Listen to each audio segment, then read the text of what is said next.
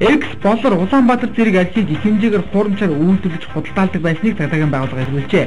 Сүхбаатар дүүргийн 9 дугаар хороонд оршин суух 48 настай Ог хэмжтэй нь Улаанбаатар болор X зэрэг архийг хуурамчаар үйлдвэрлэж худалдаалах гэж байсан үйлдэлийг илрүүлсэн байна. Зулмаар 116 хуурамч архийг хураан авч Сүхбаатар дүүргийн цагдаагийн гэртээс эрүүгийн зэрэг үүсгэн шалгаж хэлжээ.